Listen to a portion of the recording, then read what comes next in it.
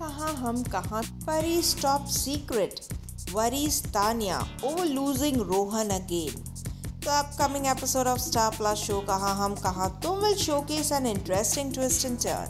It was earlier seen that Pari comes to know that she is pregnant. Pari is not able to bear Rohan's cheat and decides to talk to him.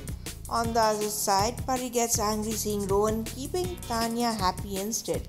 Pari threatens Tanya to get her killed soon if she comes between her and Rohan. Tanya scared seeing Pari's new avatar. Further, Pari also challenges Tanya that Rohan will soon come running to her owing to her top secret, which is will soon inform Rohan soon. Tanya gets Tanya gets scared seeing Pari's new avatar. What will Rohan do now? It would be really interesting to see what will happen next in the show. Keep watching our channel TV Time Prime for more such exciting updates and upcoming twists.